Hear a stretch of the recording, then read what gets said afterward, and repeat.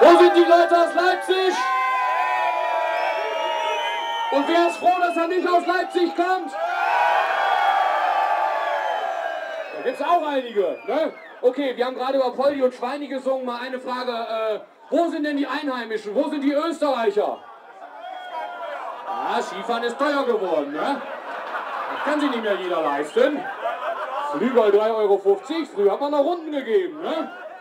Haben wir Gäste aus Italien hier? Du kommst nicht aus Italien. Bulgarien vielleicht. Manometer, die wiegt ja gut und gerne 100 Kilo.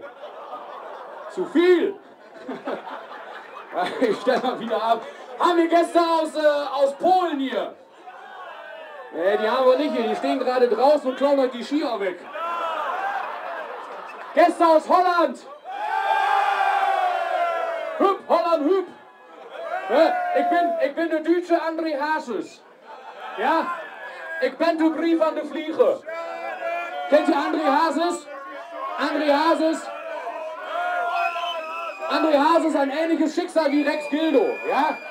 Ja, nur Rex Gildo ist aus dem Fenster gesprungen und er hat sich zu Tode gesoffen. Aber was singen wir? Orange streckt nur die Müllabfuhr.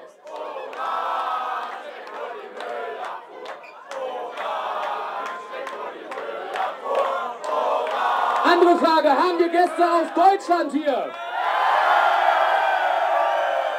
Nochmal, haben wir Gäste aus Deutschland hier?